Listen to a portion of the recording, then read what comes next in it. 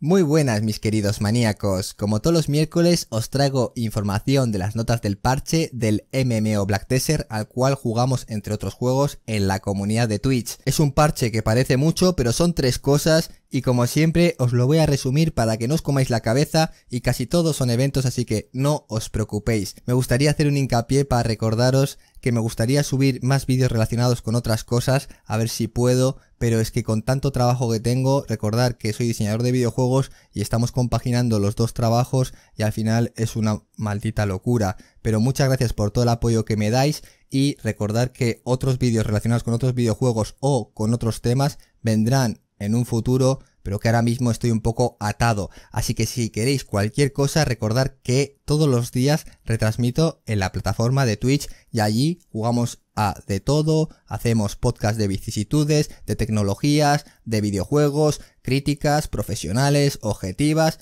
y así estaréis bien informados y entretenidos dentro de lo que puedo en mi tiempo para ofrecer, ¿no? Y muchas gracias de veras por todo el apoyo. Así que sin más dilaciones, vayamos con el parche. Como en todos los parches de este MMO, empezamos con las modificaciones de las clases. Esta semana le ha tocado al despertar o awakening del ninja, despertar o awakening de la kunoichi, la sucesión de la nova y la sucesión de la maegu, tanto en PvE sobre todo, pero en algunas ocasiones también en PvP. Si sois dicha clase, pasaros a revisar en el propio parche para no hacer esto más largo y si no lo sois no le deis bola. Ya en un futuro si os aburre vuestra propia clase, ya cambiaréis a la clase que os guste, no porque quite más una clase o sea más potente, vais a cambiar. Eso es una tontería porque al final están todo el día balanceando y la clase que tú dejas que disfrutabas luego puede estar mejor que la que quita más o está mejor y no disfrutas, ¿verdad? Entonces, bueno, yo con esto siempre os digo lo que toca cada clase y luego si queréis hacer hincapié, yo que vosotros pasaría por el parche y me informaría bien si es que utilizo dicha clase y la quiero masterizar. Por otro lado, han metido el caballo nuevo, el Doom de ensueño soñado, o en esta ocasión para los panas DSA, el Doom del sueño fantasía. En esta ocasión el Doom va a ser un poquito exclusivo como todos los caballos de ensueño soñado, pero recordar, no tengáis prisa porque estos caballos valen mucho para lo que dan. Este caballo va a correr igual que el Doom de toda la vida, lo único que va a tener un impulso más y eso va a hacer que corra un poco más. También va a tener otra habilidad, el cual vais a poder sacar dos clones y montarse seis personas y otra habilidad la cual va a hacer un ataque más potente. Recordar que cuando tú generas este caballo, lo creas, vas a poder optar a dos de esas habilidades según nace el caballo. También deciros que este caballo y los caballos de ensueños soñados en un futuro se van a vender y van a valer el doble que un caballo tier 9, dicho por ellos. Yo recomiendo que dependiendo en qué momento estéis del juego, lo hagáis o no lo hagáis porque tampoco os comáis tanto la cabeza, es muy exclusivo por ahora, pagáis mucho para obtener bien poco pero en un futuro será todo mucho más fácil e incluso lo podréis comprar. Y recordar que en esta ocasión el caballo de ensueño soñado Doom ha sido mejorado bastante en comparación con sus otros amigos, el Pegaso y el Dine, y han mejorado el Pegaso, por ejemplo, que en el aire puede hacer un dash, es decir, impulsarse una vez más para así poder mantener más su planeo, y lo que viene siendo el unicornio aguanta más en el agua gastando menos la estamina, corriendo más por encima del agua durante más tiempo y así balancean un poco la diferencia entre las razas de estos tres caballos de ensueño soñado. También quiero hacer hincapié que han mejorado ciertos objetos con los cuales se hace la mejora del caballo de ensueño soñado, una de ellas es la pluma de la fantasía, que ahora tanto los bosses o jefes de campo o el jefe de mundo o fin, tanto el escudo como el centinela, van a poder tener un porcentaje de que os puedan dar la pluma de la fantasía. A su vez, a los jefes de campo que dan este tipo de objeto les han subido la vida porque si no van a morir enseguida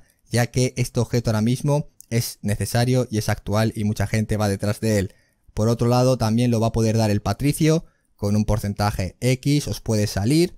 Tenéis las mejoras semanales de las misiones que tenéis que ir a mirar. Árbol viejo de la sabiduría, el NPC, Baril, el encargado del establo, Wapra, establo de las colinas, cola de piedra, o Rihanna, Liana, dependiendo en qué servidor estéis, que se encuentra en las grandes ciudades. otra de las cosas que han mejorado ha sido la raíz del helecho asiático. La recompensa ha pasado de 30 a 50. Por otro lado, ha vuelto a comenzar la temporada de la arena de Solare, que recordemos que es como un minijuego, no es tu clase, le hacen algunas modificaciones, por lo tanto, yo lo que no entiendo es por qué hacen esto las temporadas y no dejan esto abierto como si fuera una red Battlefield, recordar que es una arena un poco que da competitividad, un poco ranqueada, pero al final ni siquiera es tu clase, te modifican el equipo, te modifican los atributos y es un poco minijuegos para pasártelo bien. Yo no sé por qué hacen estas temporadas y nos la quitan y nos dejan sin ella, que al final es un contenido divertido para quien quiera y pasar vuestros ratos un poco en compañía, porque es un 3 contra 3, ahora meten los nuevos campos de la tierra del Alba Radiante y poco más, ¿eh? no voy a hacer mucho más hincapié. Eso sí, empieza hoy y termina el 13 de septiembre. El ranking del top 100 va a recibir premios dependiendo en qué posición te halles. Y por último, os voy a intentar hacer un poquito de resumen y una traca final, porque lo único que son son modificaciones y no van a ningún lado. Bueno, a mejorar, eso sí, la jugabilidad vuestra, no es que le quite importancia, simplemente quiero hacer el parche bien.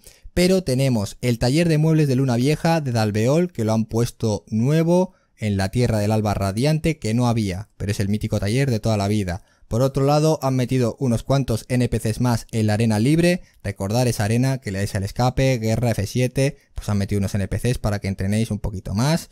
Los mismos de siempre, pero más cantidad. Y esto sí que es interesante para los que tenéis el mapa del arqueólogo, podéis utilizarlo separado con el mapa del aventurero porque ahora han separado los enfriamientos. Así que si tenéis este mapa disfrutarlo porque vais a tener dos ocasiones de hacer dos teletransportes. También han modificado para que podáis conseguir más fácilmente los instrumentos Florquesta, que me cuesta hasta pronunciarlo. Simplemente lo que han hecho es poner otro tipo de paletas, de recetas, para que podáis hacerlo con otras combinaciones. Muy simple todo esto que digo. Por otro lado, estas tonterías que hacen que yo no le entiendo, que es alargar el tiempo de caducidad de ciertos objetos que han ido dando, como los martillos pesados de J unos cupones, cupones de intercambio de experiencia, pues bueno, han alargado la fecha porque se han dado cuenta que nos dieron dos semanas para gastar todo esto, pero es que ya lo más seguro que la gente lo haya gastado porque decían que hoy era el último día, ¿no?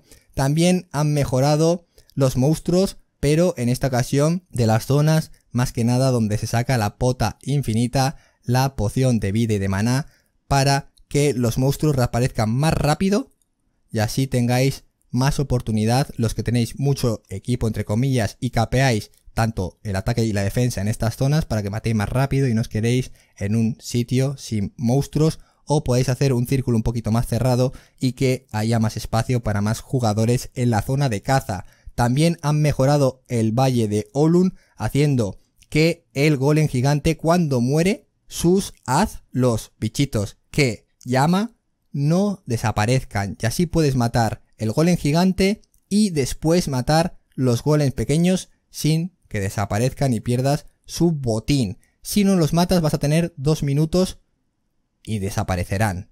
Muy simple. También han hecho una mejora en los monstruos, en esta ocasión el Muster, el Puturun, el Ferriz de gremio.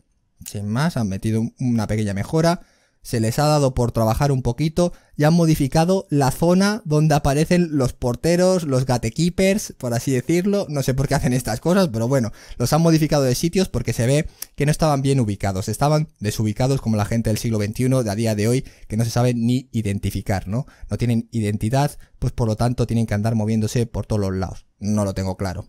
Una tontería. Por otro lado, desplazamiento del continente al comenzar la aventura de la Tierra del Alba Radiante. Esto es simplemente que había muchas controversias con los nuevos jugadores si empezabais por esta rama, la de la Tierra del Alba Radiante, que no podéis hacer el Awakening hasta no terminar la misión principal, pues ahora vais a poder hacer esas misiones. Es decir, han mejorado tanto las misiones principales del Alba Radiante para que podáis hacer varias cosas y también algunas misiones de Magnus, de el teleport de Magnus o el store de Magnus, eso también lo han modificado. Y por último, han modificado el inventario para que todos los objetos estén ordenados por distintas categorías y sea más fácil de organizar, intuitivos de ver, de localizar.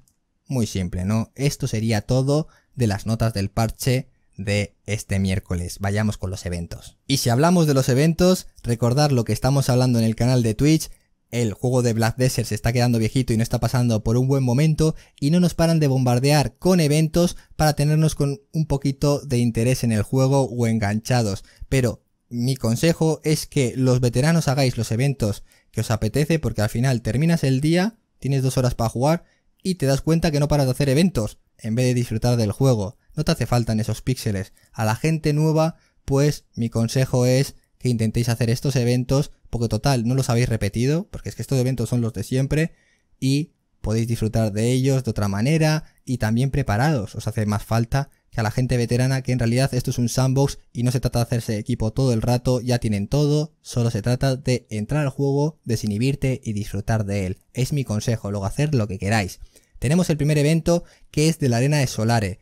Empieza hoy, bueno, mañana, lo siento, el 20 y termina el 13 de septiembre con la propia arena. Recordar que la arena el 13 de septiembre se cierra y se cogen las puntuaciones porque es una arena ranqueada. Lo único es ganar una batalla y os van a dar 100 piedras de Kron muy simple, tampoco es que le demos más vueltas. Por otro lado, desde mañana hasta el 25 de julio, que es lo que dura el parque de Termian, el Aquapar, por estar conectado 30 minutos, una hora y una hora y media, muy simple, os van a dar ciertas recompensas. Y ahora viene el evento de Termian. No os comáis mucho la cabeza, cuando le dais a la O tenéis las misiones para coger, hay unas monedas que podemos intercambiar por ciertos objetos, tanto semanales como por familia. Y una cosa importante es que tendremos dos tiendas para elegir, recordar, el bando de los papus y el bando de las nutrias. Un bando es una tienda más dedicada a la gente de oficios